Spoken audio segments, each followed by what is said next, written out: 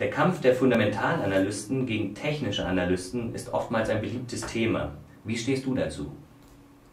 Ich halte von diesem Kampf gar nichts. Ich sage immer, äh, man sollte das Beste aus beiden Welten zusammenfassen. Äh, der Fundamentalanalyst ist jemand, der davon ausgeht, dass eine, ein Unternehmen einen bestimmten Wert hat und eine Aktie an einem bestimmten Punkt über- oder unterpreist ist, also einfach zu teuer oder zu billig ist. Nun wissen wir aber alle, die Charts halten sich nicht daran, ja, äh, was der Fundamentalanalyst denkt.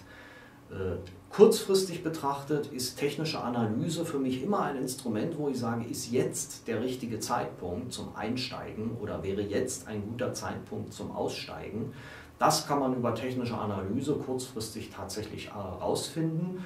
Äh, was einem der Chart nicht verrät, ist, was ist das Unternehmen tatsächlich wert und da greift man dann auf Fundamentalanalyse zurück.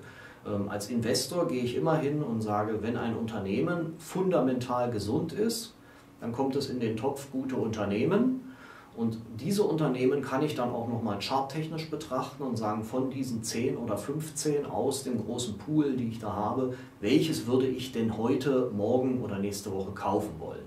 Da kann man dann die technische Analyse durchaus zu Hilfe nehmen. Äh, man sollte also äh, dann auch sagen, ich kaufe kein Unternehmen, dessen Aktienkurs sich gerade im freien Fall befindet. das sieht man nun wiederum sehr schön an einem Chart. Und äh, da bin ich dann auch bei den technischen Analysten. Ich komme ja selber aus dieser Trader-Ecke. Ich bin selber auch ähm, ein, ein äh, Chart-Analyst äh, in meinem täglichen Traderleben. Äh, aber ich sag mal, fürs Investieren sind Charts dann eher zweitrangig. Es zählt nicht das Markttiming, was äh, die Chartanalyse mir bietet, sondern für den Investor zählt Time in the Market. Also wie lange bin ich im Markt drin und nicht der Versuch, den Markt zu timen.